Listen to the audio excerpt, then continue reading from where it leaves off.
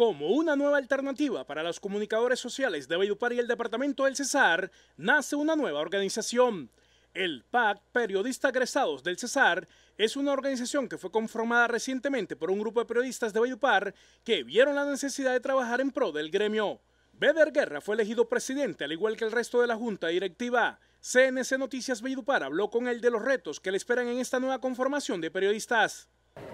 Bueno, estamos, estamos convirtiéndonos en una alternativa de trabajo en favor de los periodistas, en favor de, bueno, la misión de, de nosotros que es el periodista, la persona, trabajar en favor de su causa, de la salud, de su bienestar, de la educación, pero también por recuperar los espacios de, de la profesión. Los periodistas interesados en pertenecer a este gremio solo deben cancelar una cuota mínima para gozar de los beneficios que tendrán. Tenemos personería jurídica, estamos en la Cámara de Comercio, guían todo lo legal.